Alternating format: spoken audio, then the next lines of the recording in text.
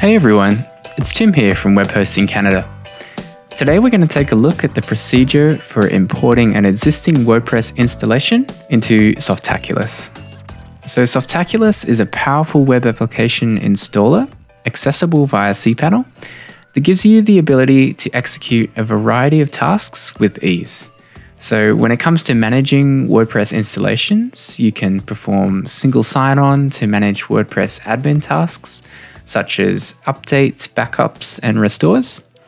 Also, more advanced features such as cloning installations, you can create a staging instance and bulk discover existing installations for migration and management.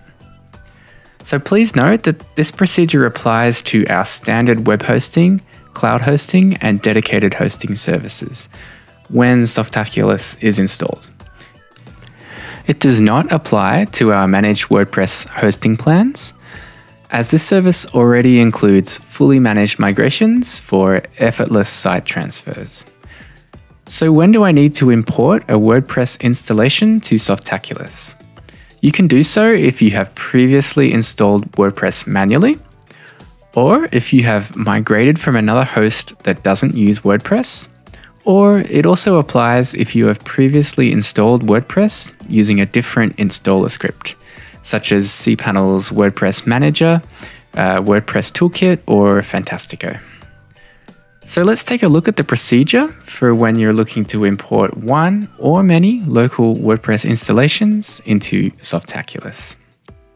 To begin, log into your cPanel then to open Softaculous, you'll find the one-click apps installer icon if you're using one of our standard web hosting plans. If you happen to be on our cloud or dedicated server plan, you'll find the Softaculous apps installer icon under the software section of cPanel. For our demo, we'll go ahead with our one-click apps installer icon. So from here, you'll be presented with the top script section. You simply need to click on WordPress. And then across on the right, you'll find the import tab.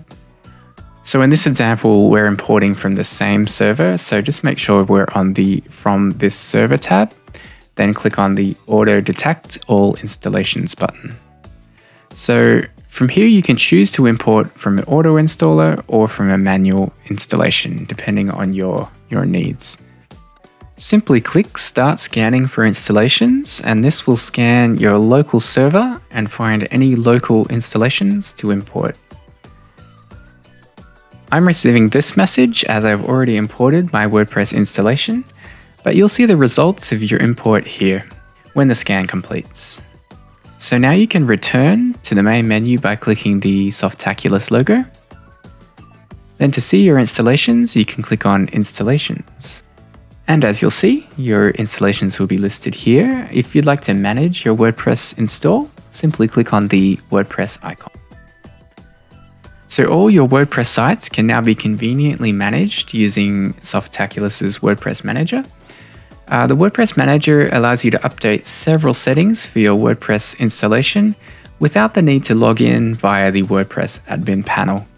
So as you can see, you can enable and disable a number of features such as the auto update of WordPress core, plugins and themes, SEO visibility, also things like cron jobs and debug mode if that's relevant to you. You can also view your database details, as well as clone your install, run staging, create or restore backups, as well as remove or delete your install completely from Softaculous if desired. So if you have any questions about this process, please feel free to leave us a comment. We're always happy to help out. If you want to learn more about importing your WordPress installations into Softaculous, check out our help article, which is linked in the description below. So thanks for watching today, and we'll be back again soon with more useful tips and tricks to get you going on the web.